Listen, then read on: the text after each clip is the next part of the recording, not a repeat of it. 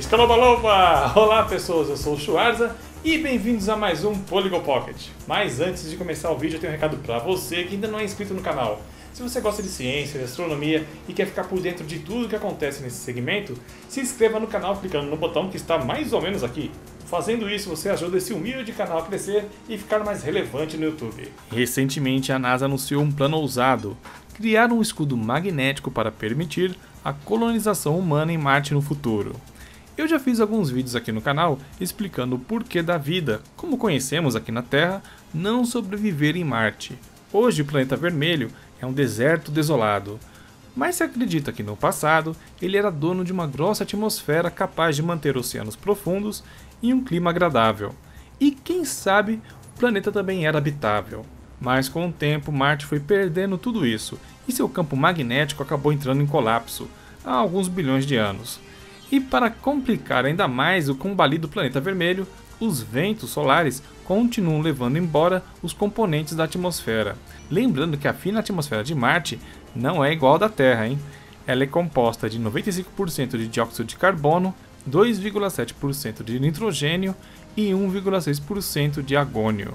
Mas vamos lá, como é que a NASA pretende recuperar a atmosfera de Marte?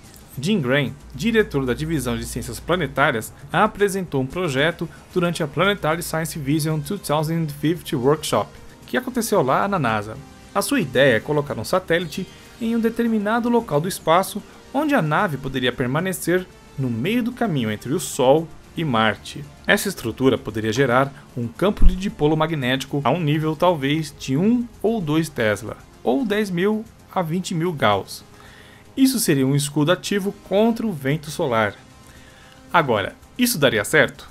Bom, as simulações dizem que sim, pois foi feita uma simulação onde a magnetosfera artificial foi capaz de proteger o planeta do vento solar e ainda ajudou a equilibrar a atmosfera marciana. E como o escudo funcionaria como um campo magnético artificial, a atmosfera continuaria a engrossar ao longo do tempo. Essa notícia é interessante porque ela é plausível, dá para fazer no futuro próximo.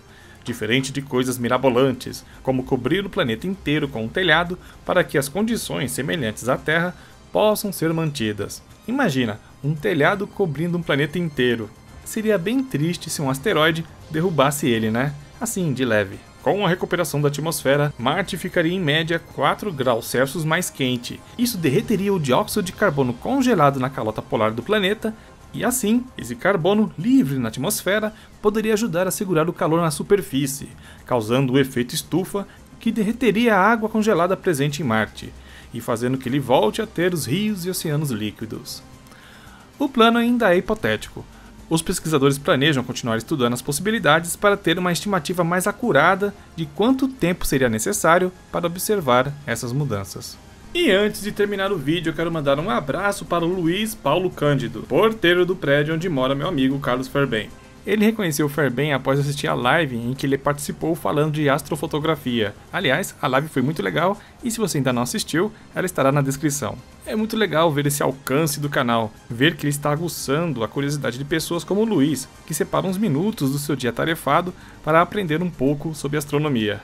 Isso é sinal de que estamos no caminho certo. E esse era o vídeo que eu queria trazer para vocês hoje. Espero que tenham gostado. Se vocês têm sugestões de pauta ou querem apenas falar comigo, me sigam nas redes sociais. Facebook, Instagram, Twitter, tá tudo aqui embaixo na descrição. E eu vou ficando por aqui. Nos vemos amanhã. Um grande abraço e hasta!